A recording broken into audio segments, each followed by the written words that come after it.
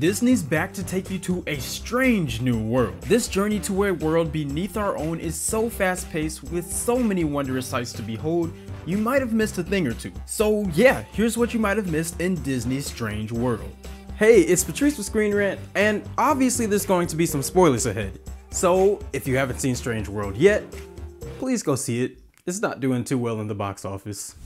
Strange World begins and ends with a presentation homaging pulp magazines of the early 20th century. For those who weren't alive to read them when they were new, aka this video's entire audience, and myself, pulp magazines were an extremely popular form of low entertainment. Low in this context means they weren't thought of as high art. Basically, they were the junk food of media. They got their name from the crazily cheap wood pulp paper that they were originally printed on. Nowadays, if anything claims to be pulp inspired, it's generally going to be a self-contained horror, crime, war, sci-fi, fantasy, or western adventure. The one and only Jaeger Clade is a prime example of a pulp adventure hero. A big, buff guy whose first response to danger is to rip off his shirt and punch that danger right in its face. Hey, sometimes it's okay to wear your influences on your sleeves, even if you're not wearing any, because, you know, you tore your shirt off. I feel like it's illegal to tell a story about a family and not include a dog. I'm a cat person, but you know, dogs are everywhere. This isn't a judgment, just an observation. Legend's name is actually a reference to real life Disney legend Burny Mattinson. Mattinson's been working with Disney since 1953, working on the classics like Lady and the Tramp, all the way to the newer films like Ralph Breaks the Internet. Mattinson is the one who pushed for a dog to be in the movie, despite Splat already filling the role of the cute pet character. But eventually he was able to wear down co-director Don Hall and the three-legged member of the Clades was born. The dog even kept Mattinson's nickname, Legend, which he got for becoming an official Disney legend in 2008. Let's be real though, all dogs are legends. And cats. A major plot point throughout the film is Pando, a renewable energy source that Searcher Clade discovers as a young child. Pando grows in a plant that's a cross between a pea pod and a cob of corn, with individual spheres that generate bioelectricity. Pando's energy production is so efficient that the Society of Avalonia made a technological leap of 50 years in half the time. If you pay close attention, the collection canisters employed on Searcher's farm bear a surprising resemblance to the scream canisters used to collect well, Screams and Monsters Inc. Considering both films have energy sources that aren't as viable as they're initially believed to be, this may be more than just a strange coincidence. Did you guys notice that the painted flowers on the furniture in Clade's house look like the ones in Elsa's bedroom door in Frozen? The town of Avalonia did seem similar to Arendelle, at least before they discovered electricity. This may just be a coincidence born from reoccurring design trends across Disney movies, but it could also be fodder for the shared Disney universe theories. Although if you know how this movie ends, and we will talk about how this movie ends later on, I'm not sure how anybody's going to be able to connect this movie to the others in the Disney canon, but they can try, I guess. So the ending of this movie might have taken more than a few people by surprise. To quickly sum up the film, it turns out that Avalonia and its surrounding mountain ranges exist on the back of a giant sea turtle that endlessly roams the seas of a lonely blue planet. The strange world that the characters delve into are actually its insides, with the menagerie of strange creatures inhabiting it, acting as its cells and biological function. This is the movie's interpretation of a being known as the world turtle, a giant turtle that contains the world. This turtle appears in Hindu Hindu, Chinese, and several indigenous American mythologies. In some stories, the world turtle would actually support eight world elephants, who would themselves be supporting the world as we know it. Well, I'm sure that's a massive load. I'm, I'm sure they're fine, right? Ugh. Splat's easily the most recognizable thing about this movie, to the point where some characters openly admit that they want to merchandise him. And given how much of a challenge it is to make a character with no face or voice so expressive and lovable, I can't really blame them. And when I said Splat doesn't have a voice, I meant that he doesn't have a voice actor. The voice for Splat was actually completely engineered by sound designer Shannon Mills, creating a performance that the other characters would interact with. This is like the equivalent of human actors having to act against CGI characters in backgrounds. And considering this movie had a Marvel actor in the cast, it was clear that they were up to the task. Disney is no stranger to teasing future projects in their movies. Pixar does it all the time, and we've done several videos about it. If you've seen Encanto, and who hasn't at this point, right? You might remember a strange spaceship appearing next to the Disney logo at the end of the credits. And now that you've seen Strange World, it's not so strange anymore.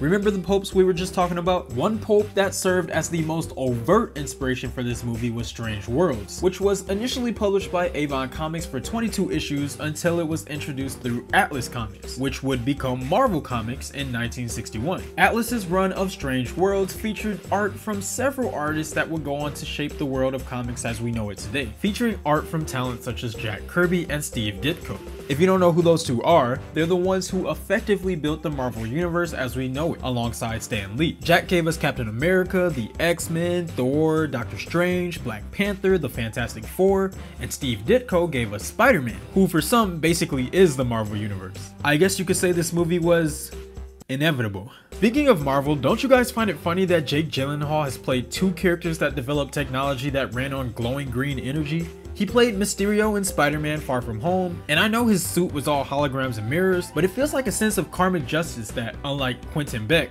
Searcher was properly credited for his work. And he even got to become this world's Tony Stark, an engineer seen as a hero by the people. Just like Tony Stark, he got to start a family and he even has his own set of daddy issues. Good on him for not falling into alcoholism though. I mean, it is a kids Disney movie, so that wouldn't happen, but he definitely managed to one-up Tony there. But can Searcher invent time travel?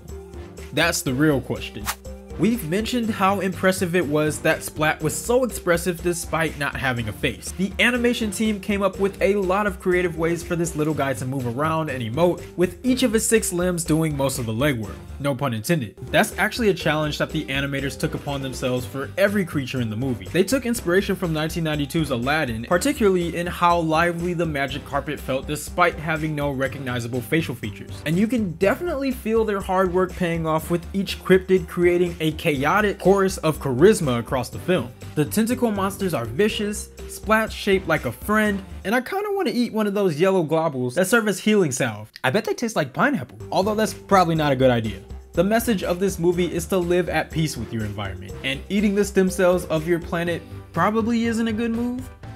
While the art department looked to the magic carpet for characterization, they looked to our own world for character design just as much. Some of the species in Strange World are based on various dinosaurs, but the blue sea star-like creatures that swing from the trees are based on a type of sea asteroidea called Linckia laevigata. As far as starfish go, it's pretty simple, usually appearing in a few shades of blue and occasionally experiencing pink or yellow color morphs. I mentioned this species in particular because whenever the glowy starfish attach themselves to a tree, they light up like the foliage on Pandora. Now I can't determine if this was a deliberate reference to James Cameron's Avatar, but I do know that Disney is a big fan of brand synergy and plans on taking us to another strange world very soon. While many of the creatures in this movie are based on animals in our own world, all of them are based on microbiology in some way or another. As the strange world the characters travel to is actually the insides of a giant turtle everything under the surface is in some way part of the turtle's immune system. The little nubby creatures that heal the surface are stem cells, and the first things to actually attack the cast are killer T's which kill bacteria, fungi, and viruses. Everyone's favorite merchandisable cell, Splat, is a dendritic cell. Dendritic cells are special types of immune cells, typically found in skin, that essentially help induce immune systems in the body and produce antibodies. And considering how Splat helps lead Ethan around, you could definitely say he was doing his job. Hope you guys enjoyed that biology lesson by the way. The writers behind Strange World put a lot of thought into making Ethan relatable to a modern teenage audience. Apart from struggling with his feelings for his crush in a way that felt natural, his love for his favorite card game, Primal Outpost, felt totally authentic, especially that part where he tried and failed to get his dad and granddad to play it. And part of why it felt so authentic is because it's a real game. Well, it kind of is. And Screenwrite Qui Nguyen wanted to make a card game that felt real, so they ended up writing out an entire rulebook for it. It was also apparently designed to confuse old people. That being said, if they got a rulebook ready along with what looks like a complete starter set of cards all drawn up, release it as a full game. Come on Disney, it's no secret y'all love to merchandise everything under the sun. It's also no secret, like I said before, that this movie wears its influences on its sleeve. And I mean that literally. Searcher Clade's outfit looks very similar to Link's tunic from The Legend of Zelda, with the green top, brown bottoms, and white undershirt. It's not hard to connect these dots, even if they weren't meant to be connected. While Searcher obviously doesn't seem like the type to naturally wield the Triforce of Courage, he definitely earns it by the end of his journey. Although I've gotta say, I don't really see Jake Gyllenhaal voicing Link. I don't really see anyone voicing Link While we're on the topic of fashion sense though, does anyone else think that Jaeger looks a bit like Peter Griffin once he changes his clothes? White shirt, green pants, big belly, goofy dad? Ethan's journey begins by doing what a lot of people wish they could do sneak out and take their parents' motorcycle for a joyride. When Ethan scoots off into the great unknown, he exclaims, I've gotta get me one of those. This might be a nod to Disney's modern classic Tangled, where the dashing Flynn Rider had the exact same thing to say about Rapunzel's frying pan. If it's intentional, it clearly fits the spirit of the movie. Even the most simple of one-liners become iconic, and I could totally see Ethan being into Flynn. Actually, now that I think about it, a cast iron skillet is probably gonna be more useful in the wilderness than a motorcycle. The motorcycle is gonna eventually eventually run out of fuel. You can't really use it to cook anything, and as Rapunzel repeatedly demonstrated, it makes for a very handy weapon. Now I mentioned earlier that Searcher isn't the most courageous type. And it's pretty funny that his name was given to him because his dad wanted him to be a brave explorer, which is obviously the point, as the whole movie is about him rejecting his father's legacy while forging his own to pass on to his family. And I can't really blame him for rejecting it. Who names their kid Searcher? That's borderline abuse. Although he did end up embracing it in his own way. He ended up searching for ways to utilize an alternative fuel source that ultimately did more for Avalonia than merely searching for the horizon like his father did. And in the end, he immediately volunteered himself for the journey to save the Pando, which involved a lot of searching and even more bravery. It's funny how life does its thing, isn't it?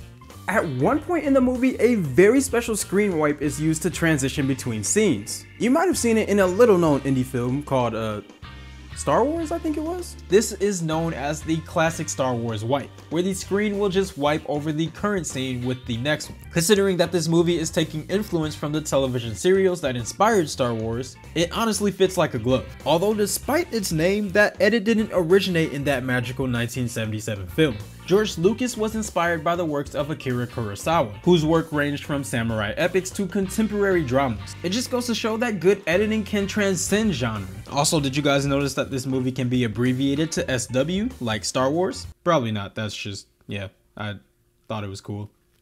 It seems like every year is an anniversary for something. 2022 celebrated the 50 year anniversary of the launch of the US Space Shuttle program, the Nintendo Wii is now old enough to drive, oh my goodness, and Disney has been around for a century. That's 100 years of owning all of our childhoods as of October 19th absolutely wild. To celebrate these 100 years of wonder, they've introduced a shiny new logo to put in front of the timeless Disney castle animation that plays in front of their movies. And Strange World is actually the first Disney movie to feature the logo. Originally, it was going to be the third with Hocus Pocus 2 and Disenchanted intended to use the new logo, but those were changed at the last minute to feature the one Disney's been using since 2011. I guess this means that Strange World was meant to set the tone for the next century of Disney movies. Considering how how this movie did at the box office and how you feel about Disney, this is either great or terrible.